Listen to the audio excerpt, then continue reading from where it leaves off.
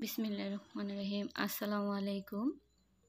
আজকে আমি লইট্টা সুটকি দিয়ে বেগুন আলু রান্না শেয়ার করব। ভিডিও ভালো লাগলে ভিডিওতে একটা লাইক দিবেন। এই যে আমি চুলায় একটা ফ্রাই প্যান বসিয়ে দিলাম। এখন পরিমাণ মতো তেল দিয়ে দিব। ওয়ান থার্ড কাপ পেঁয়াজ কুচি দিয়ে দিব। পেঁয়াজ কুচিটা হালকা একটু ভেজে নিব।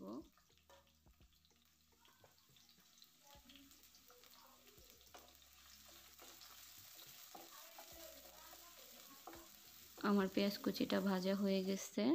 এখন আমি মশলা দিয়ে দিব এক চা চামচ রসুন বাটা ওয়ান স্পুন আদা বাটা, এক চা চামচ হলুদের গুঁড়া, এক চা চামচ মরিচের গুঁড়া, স্বাদ মতো লবণ, হাফ চা চামচ জিরা গুঁড়া ওয়ান স্পুন ধনিয়া গুঁড়া। এখন আমি মশলাটা ভালোভাবে নেড়ে চেড়ে একটু ভেজে নিব।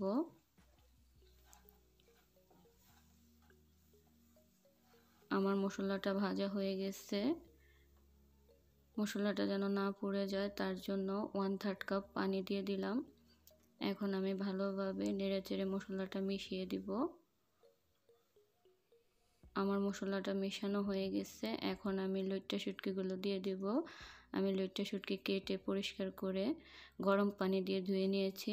এখন আমি মশলার সাথে লইট্টা শুটকিগুলো দিয়ে ভালোভাবে মিশিয়ে ঢাকনা দিয়ে চুলার আগুন কমিয়ে দুই মিনিট কষিয়ে নিব।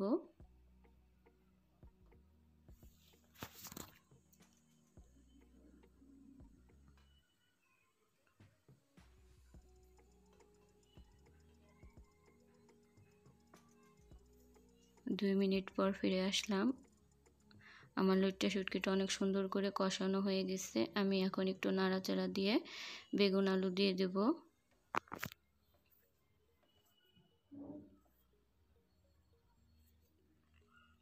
যে আমি এখানে বেগুন আলু কেটে পরিষ্কার করে ধুয়ে নিয়েছি।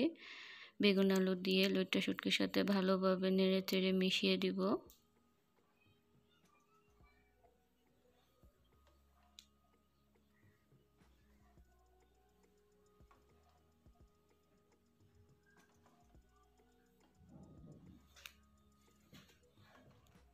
লইট্টা শুটকির সাথে বেগুন আলু মেশানো হয়ে গেছে। এখন আমি উপরে আস্ত সাত আটটা রসুনের কোয়া আর দশটা কাঁচামরিচ দিয়ে ঢাকনা দিয়ে চুলার আগুন কমিয়ে তিন মিনিট কষিয়ে নিব।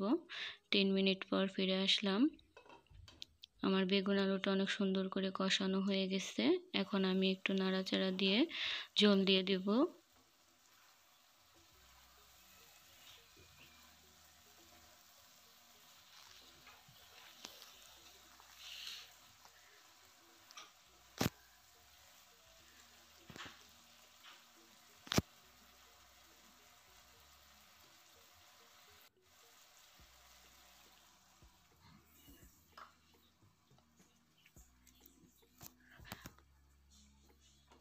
আমার ঝোল দেওয়া হয়ে গেছে। এখন আমি ঢাকনা দিয়ে পাঁচ মিনিট রান্না করব।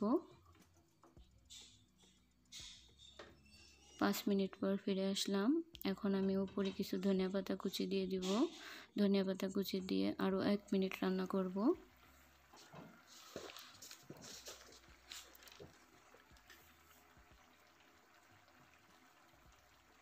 তৈরি হয়ে গেল লইট্টা শুটকি দিয়ে বেগুন আলু রান্না। আমার অনেক পছন্দের খাবার, আপনারা কারা কারা পছন্দ করেন কমেন্ট করে জানাবেন। ভিডিও ভালো লাগলে ভিডিওতে একটা লাইক দিবেন, চ্যানেলটা সাবস্ক্রাইব করে পাশে থাকবেন কমেন্ট করে আপনাদের মূল্যবান মতামত জানাবেন। যারা আমার চ্যানেলটা সাবস্ক্রাইব করছেন, তাদেরকে অসংখ্য ধন্যবাদ। আর যারা আমার চ্যানেলটা এখনও সাবস্ক্রাইব করেননি প্লিজ আমার চ্যানেলটা সাবস্ক্রাইব করবেন।